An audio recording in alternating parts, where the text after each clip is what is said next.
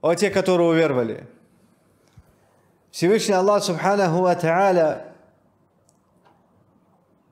в одном из аятов Корана раскрывает важный замысел или важную ответственность человека перед Аллахом, ответственность перед Аллахом за свою семью, за своих детей. سيبش الله سبحانه وتعالى قوريت قرآني بعد أعوذ بالله من الشيطان الرجيم يا أيها, يا أيها الذين آمنوا قوا أنفسكم وأهليكم نارا وقودوها الناس والحجارة عليها ملائكة غلاظ شداد لا يعصون الله ما أمرهم ويفعلون ما يؤمرون О те, которые уверовали, спасайте Спасайте себя и ваши семьи от огня, где будут гореть камни и люди. Это показывает уровень температуры воды, э, уровень температуры огня, в котором горят камни. Стража этого огня, суровые ангелы – которые не проявляют милосердия, сожаления. Они не ослушаются повеления своего Господа. Всевышний Аллах Субханаху Ва Та'аля предупреждает человека, предостерегает его. Он говорит, остерегайся, не питай пустых надежд – Потому что впереди огонь, в котором будут наказаны люди. Но огонь такой температуры, в которой горят камни. И охраняют этот огонь суровые ангелы. Аллах не сказал просто ангелы. Аллах сказал суровые. Для чего? Для того, чтобы ты не надеялся на их милосердие что с ними, с ними можно договориться, их можно упросить. И они выполняют повеление своего Господа. Все просто. И на что, на что хотел бы я обратить внимание, это на то, что Всевышний Аллах говорит, спасай себя. И не только себя. Аллах говорит, у ахликум и ваши семьи. Кто относится к семье человека? Это его супруга, это его дети, это его родственники, это его семья. Но в первую очередь Аллах говорит «семья», и когда мы все слышим «семья», мы, подраз... мы всегда представляем это самый-самый близкий, близкий круг. Это жена, дети, родители – И поэтому Всевышний Аллах Субханаху Ва Та'аля этим аятом показывает, насколько отношение человека должно быть заботливым и сострадательным, э, э, с переживанием к тому, кто окружает человека. И поэтому Аллах не сказал «спасай себя». Аллах сказал «спасай себя в первую очередь, а потом свои семьи. Этот аят указывает на то, что человек должен понять в первую очередь сам, что может его спасти от огня, от наказания Всевышнего. И прежде чем к этому перейти, я бы хотел обратить внимание на то, что Коран, он наполнен проявлением любви Всевышнего к человеку. И также параллельно он показывает и предостерегает от наказания. Это я говорю для того, чтобы мы понимали, что Коран воспитывает человека не страхом Или Всевышний Аллах Субханаху Ва воспитывает человека не страхом. Всевышний Аллах побуждает, повелевает человеку повиноваться Аллаха через любовь к Аллаху. Через желание получить любовь Аллаха, награду Аллаха, вознаграждение Аллаха. Но не каждый человек это подходит ему. Вернее, это подходит каждому. Но не каждый человек осознает это или находит Аллаха через, через обещание Аллаха милости. Например, Всевышний Аллах Субханаху Ва Та'аля или пророк Мухаммад, саллаллаху алейхи говорит, хотите, я вам укажу на деяния, которые вы будете выполнять, и полюбит вас Аллах. Сподвижники сказали, да, о посланник Аллаха. Он сказал, афшу саляма бейнакум. Распространяйте мир между собой. Что означает мир между собой? Это приветствие, в первую очередь. А затем добрые отношения. Пророк Мухаммад, говорит, кормите бедных и молитесь ночью, когда все люди спят. И тогда вас полюбит Аллах. Кого-то из нас и эти, ну, эти деяния являются дополнительными. Иногда человека побуждает это желание получить любовь Всевышнего Аллаха, побуждает его совершить эти благие деяния. И побуждает его оставить греховное – но Всевышний Аллах Субханаху Ва Та'аля Коран в Коране использует подход также кнута, а это предостережение от огня, от наказания, от гнева Всевышнего Аллаха. И поэтому, если человека мотивирует, подталкивает, совершает праведные деяния, обещания вознаграждения у Аллаха, Человек делает это. Но часть людей, некоторых людей, на них это не влияет. Их больше пугает их состояние, и тогда Всевышний Аллах, Субханаху Ва Та'аля, использует к ним метод устрашения. И поэтому Аллах, Субханаху Ва Та'аля, описал ад и описал, какой он. Для того, чтобы мы могли себе его представить, и остановиться при совершении греховного. Вот Всевышний Аллах говорит, спасай себя. Это означает, что человек в первую очередь всегда должен начинать самого себя. Если получает образование, то получает в первую очередь сам. Совершает праведные деяния, делает сам. Начинает совершать намаз, начинает с себя. Человек не должен быть тем, который всех призывает, но сам не выполняет. Также Всевышний Аллах Субханаху Ва Та'аля говорит «У ахлику ваши семьи от огня». Человек знает, как... Человек знает себя. Как же он может отвечать за свою семью? Пророк Мухаммад, саллаллаху алейхи вассалям, сказал «Куллукум ра'ин, ва куллукум мас'улу ан ра'иятихи». Каждый из вас пастух, подобен пастуху. И он отвечает за свою паству. Правитель, пастух своего правления и отвечает перед Всевышним Аллахом за свое правление. Отец, он пастух в своем доме, в своей семье и перед Аллахом несет ответственность за свою паству. Теперь здесь выходит вопрос. Если мой сын не читает намаз, я несу за это ответственность. Если моя супруга не совершает намаз, я несу за это ответственность. Если мой сын совершает грехи, я несу за это ответственность.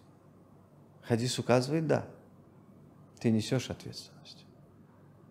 При условии, если ты не прилагал усилия для того, чтобы предостеречь или побудить.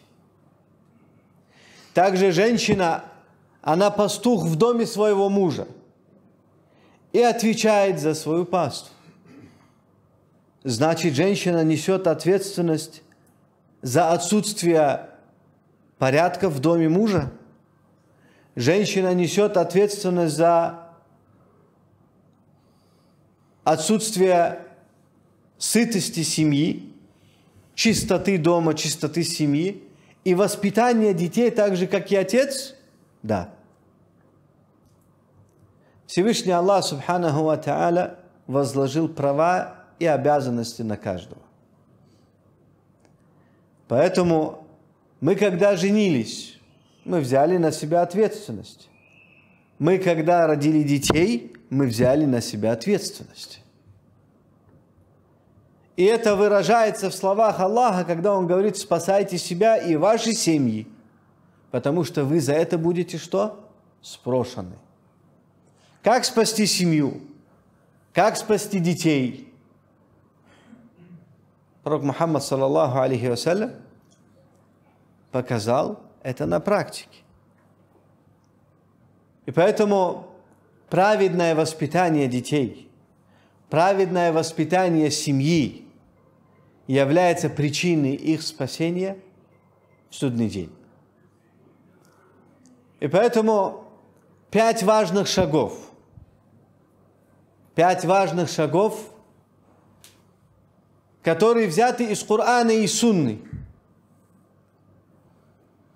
которые помогут человеку воспитать детей праведными, воспитать семью праведной.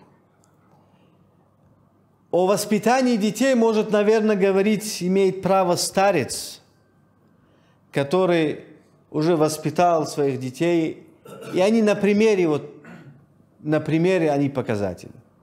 Не такие молодые, как мы, хоть у нас есть дети. Это более весомый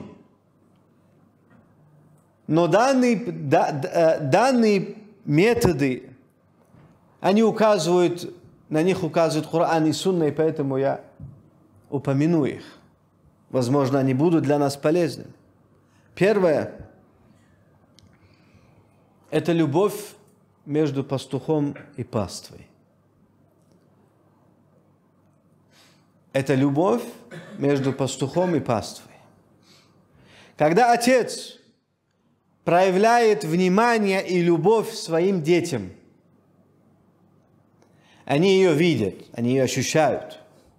И они также взаимны в своей любви. Когда эта связь есть, только тогда ты сможешь влиять, и твое побуждение сможет влиять на детей. Также между мужем и женой. Если есть любовь и уважение – тогда она будет слушать слово своего мужа. Если этого не будет, тогда она не будет слушать, и не будут слушать дети.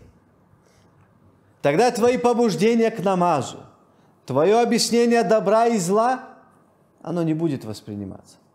Потому что ты не являешься авторитетом для них. Как добиться этого авторитета для детей? Это другой вопрос. Но первое, Первое – это любовь между вами, взаимоуважение. Второе – это взаимопонимание мужа и жены и хорошая их жизнь и отношения между собой.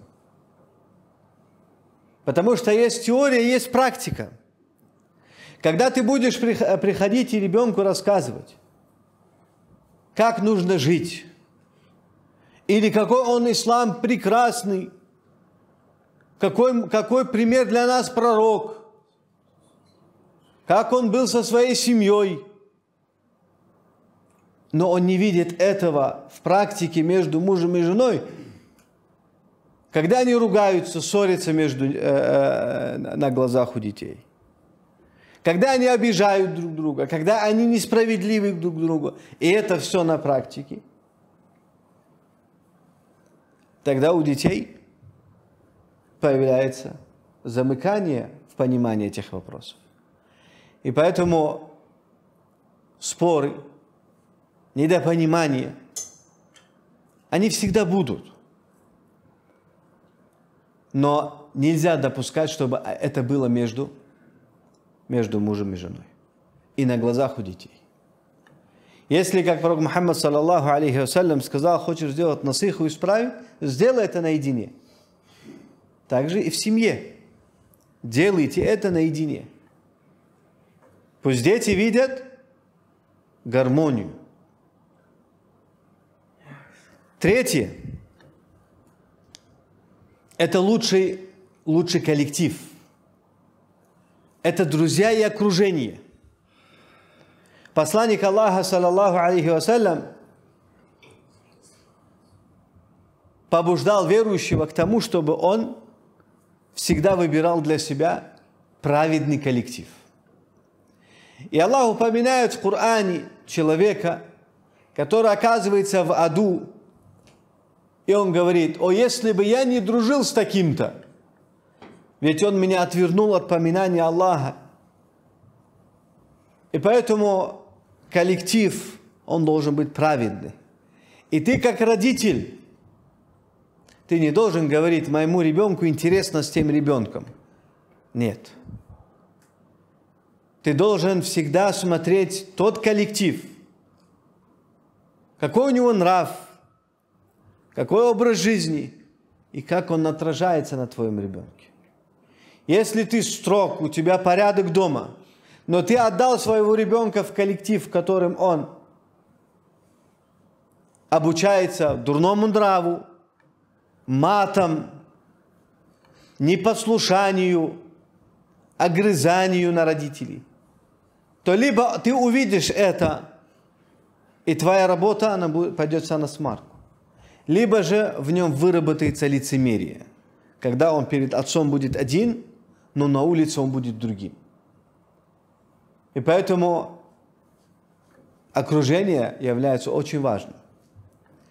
Я прошу Аллаха Субханаху Ва Та'аля простить нам наши грехи, явные и тайные, просить у Аллаха прощения, ведь Он прощающий милосердный. Четвертый шаг в воспитании праведного ребенка является обучение его. Либо же, когда отец обучает его сам – основам ислама, намазу, чтению Корана, если отец умеет, знает. Если он этого не знает или не умеет, тогда найти ему учителя. Или отдать в кружок изучения Корана, изучения основ ислама. Обратите внимание, я говорю только сейчас за, за религиозный блок. Параллельно с этим ты должен стремиться, чтобы твой ребенок учился и светским наукам – математики, химии, географии, учился в школе, в университете. Это не оговаривается, потому что это инструмент для него проживания в этом мире. Тот, который считает, что моему ребенку нужен только Коран, он ошибается.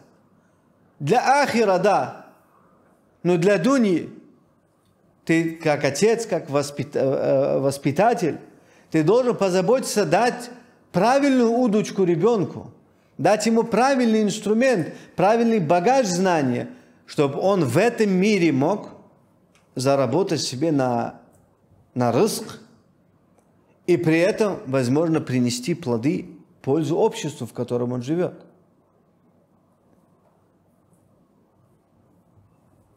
Обучать детей. Если даже ты отдал своего ребенка учителю – шейху, устазу, он обучает Корану. Ты, ты должен подключаться к этому. Каким образом? Интересоваться этим. Что он учил? Что он проходит? Что он изучил? Если ты этого не знаешь, чтобы он научил тебя этому. И это называется мудараса, когда вы обучаете один другого – и вот эта связь, о которой мы вначале сказали, любовь и взаимо взаимоуважение, и, э, э, взаимоотношения, они, они укрепляются. Не будь безразличным к тому, что учат твои дети. И если видишь, что они отстают, тогда найди мотивацию для них. Ведь это их дуния и ахера. Дети растут. Вчера твои дети было им по 5 лет, по 6 лет, у тебя не было тех забот. Максимум, что ты мог научить их, это поставить рядом с тобой на намазе, и он читает с тобой намаз. А сегодня им уже больше, они уже подростки, они уже созревают, как мужчины и женщины. И это означает, что ты, как отец, должен с ними говорить об этом. Ты, мать, должна обучать дочь тому, что она должна знать во время созревания, полового созревания. Ты, как отец, должен говорить об этом с сыном. Если ты стесняешься, тогда дай его устазу, шейху, имаму, который научит их этому. Это говорит о том, что дети должны брать знания в соответствии с их также физическим созреванием. Они не должны знать о том, что такое мани или мази, только когда они увидели это в интернете, посмотрели фильм и тому подобное. Когда дети не знают, это еще называют э, воспитание половое, наверное, э, зрелого. Когда они, для них этот мир, он новый, им интересно, что там. Но что там есть дозволено и запретно, и это ребенок должен изучить, знать. И поэтому ты, как отец, должен спросить, как у тебя там все работает. Что такое мави, что такое мани. Когда появляется мави, когда появляется мани, что портит гусль, можно ли мастурбировать или нельзя, это ребенок должен знать. Если он это не услышит от тебя, как от отца, или не услышит это от шейха, у которого он учится, где он узнает? Откуда он узнает? Он узнает все с интернета. А все ли он узнает хорошее? Я думаю, не все. И поэтому воспитание и обучение детей должно быть вовремя и правильно. Я приведу жизненный пример, который был у меня. До войны, все знаете, мы проводили детские лагеря, на 10 дней уезжали в курортные места. И у детей была программа, весь день насыщенный. Это были подростки, и подростки, и маленькие. Маленькие, и взрослые уже. Но среди них были подростки, и мальчики, и девочки. Их, их весь день, вся их программа была занята и обучением, изучением Корана, и сунны, и основ ислама, и фиха, и намазов, и, э, и отдыха, и развлечений. То есть весь их график был плотным, насыщенным графиком. И у них был один предмет, у мальчиков, конечно. Это половое созревание, которое я проводил с мальчиками. И что вы думаете? Это был самый интересный предмет для них. Они до начала урока за 15 минут приходили и стояли, ждали, когда откроется дверь и придет учитель. Потому что им это интересно. Потому что они познают этот мир – и были дети, которые рассказали такие вещи, о которых, я уверен, их отцы никогда не знали и не узнают, наверное. Они тоже люди. Это они, они вырастают, они уже не те, которые были вчера маленькими. Они уже, они уже растут. Когда он каждый день купается и гусель делает, спроси, почему он делает это. Спроси, поинтересуйся. Или у него полюция, либо он проводит Э, не, так, как полагается ночью. Это все важно. Также это касается девочек. И поэтому, когда ребенок вырастет, он осознает и поймет, что да, это половое созревание, это естественно. Э, желание Похоть это, это естественно, но есть дозволенное, и оно вот так вот правильное, и запретное, и вот оно приводит к чему, тогда у ребенка сразу разделяется на черное и белое, все становится ясным. А до этого у него все спутано. Ему интересно посмотреть на женскую грудь, на и тому подобное. Но он должен понимать, что это будет у него нормально, когда он женится. Они спрашивают в 13 лет, а как жениться? И ты рассказываешь, как правильно жениться. Как выбрать, как подойти к отцу, с чего спросить. Это детям интересно. Если будешь с утра до вечера об этом рассказывать, они будут сидеть. Им Коран и Сунна так будет неинтересно. И поэтому учтите, что образование детей важно. И, э, и учитывая их еще возрастной, э, их возраст и их возрастной промежуток. И пятое, последнее, это дуа за детей. Дуа родителей за детей принимается. И поэтому все твои этапы, шаги до этого, которые ты делал, они должны быть обязательно подкреплены дуа и мольбой потому что наставляет на прямой путь Аллах и удерживает от дурного пути только Аллах. И дуа за детей является важным. Человек иногда не может найти метода, как воспитать ребенка, не может найти метод, как добиться того, чтобы ребенок оставил какой-то грех, и только дуа может помочь ему в этом. И поэтому не следует этим пренебрегать. И всегда помните, что вы отвечаете перед Аллахом за вашу пасту. Знайте об этом.